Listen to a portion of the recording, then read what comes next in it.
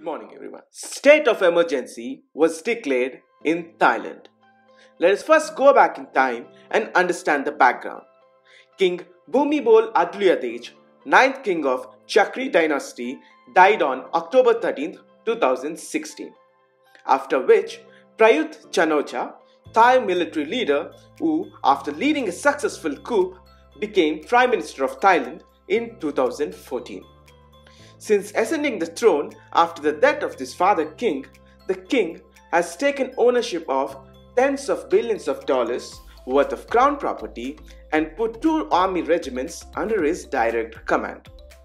Thailand has a long history of political unrest and protest, but a new wave began in February after a popular opposition political party was ordered to dissolve.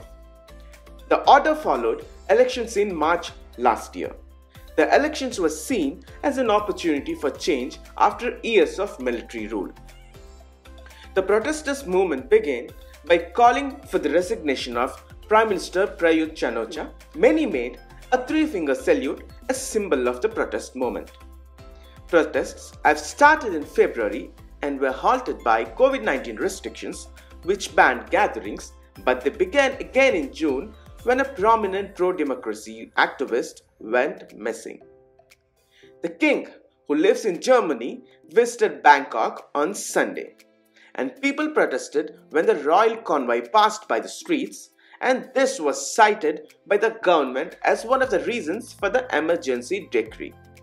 Now let us see what are the demands of the protesters. Prime Minister Prayut Chan-o-cha to step down. Parliament dissolved and new elections held. The constitution drafted by military to be rewritten. An end to the intimidation of dissidents. Reform of the monarchy. And also, protest leaders have been detained. The group said that they were being detained without access to the lawyers, and that under Thailand's emergency law, they could be held without charge for up to 30 days. Human Rights Watch said that at least 27 people were in police custody, including protest leaders Anon Nampa, Parit Penguin Chiwarak, and Panusaya Rang. That's all I have, friends. Thanks for watching. Hope you have liked it.